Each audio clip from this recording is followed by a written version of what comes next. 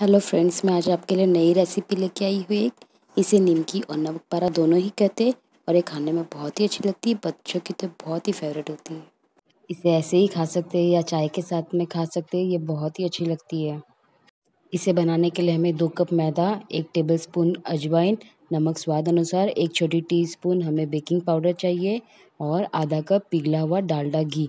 यहाँ पे हम डालडा घी का इस्तेमाल करेंगे। डालडा घी का इस्तेमाल करने से ये बहुत ही खस्ता, कुरकुरे और क्रिस्पी बनते हैं। एक बड़े बाउल में मैदा, अजवाइन, नमक बेकिंग पाउडर और घी हम इसमें मिलाएँगे। घी हमें उतना मिलाना जिससे हमारी मुट्ठी बन जाए। ध्यान रहे, हमें मुट्ठी बंधे जितना ही घी मिलाना है। इससे यानी बहुत ही खस्ता, कुरकुरे, क्रिस्पी बनेंगे। इसे हम अच्छे से मिक्स करेंगे और हम मुट्ठी बाँध के देखेंगे। अगर हमारी मुट्ठी बन रही है तो हम उतना ही घी का उपयोग करेंगे। बाकी घी हम रख लेंगे साइड में। अब हम इसमें हल्का गुनगुना पानी ऐड करेंगे और इससे आटा गूँध लेंगे।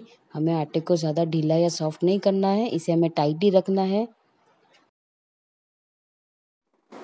ज़्यादा एक साथ पानी न लें थोड़ा थोड़ा पानी डालकर ही आटा गूँधे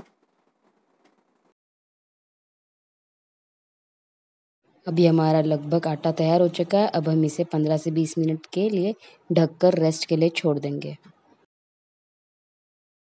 अब हम एक बड़ी सी लोई बनाएँगे और एक बड़ी सी उसकी रोटी बना लेंगे। इसे रोटी की तरह पतला ही बेलना है, ज़्यादा मोटा नहीं बेलना है और चाकू से इस तरह इसे कट मारे। अब इसे दूसरी तरह घुमाकर इसे इस तरह चाकू से और कट मारे। ये आयतकार यानी रेक्टेंगल शेप में होंगे। इसे हम किसी पेपर या प्लास्टिक पे 10 से 15 मिनट सूखने देंगे। अब आप इसे गरम घी या तेल किसी में भी तल सकते हैं। मैं इसे गरम घी में तल रही हूँ। ये घी में तलने से और भी ज़्यादा स्वादिष्ट लगती है। इसे हमें पलट कर दोनों तरफ़ से सुनहरा होने तक अच्छे से तलना है। क्रिस्पी होने तक। इसे हमें ज़्यादा ब्राउन नहीं करना है। इसे हमें इसी तरह लाइट ब्राउन करके इसे हम घी से बाहर निकाल लेंगे।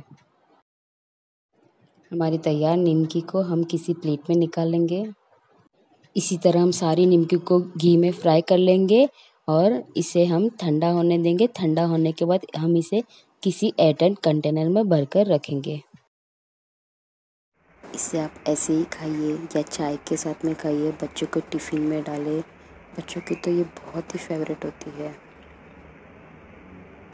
तो अब हम जानते हैं हमारा आज का टिप आज का टिप ये है कि इसे बनाते समय इसे गर्म पानी में आटा गूँधे कि इससे ये बहुत ही खस्ता, कुरकुरी और सॉफ्ट बनेगी। उम्मीद करती हूँ आप सभी को मेरा ये वीडियो पसंद आया हो। मेरा वीडियो देखने के लिए बहुत बहुत धन्यवाद। मेरे चैनल को लाइक, शेयर और सब्सक्राइब करना ना भूलें। Thank you once again.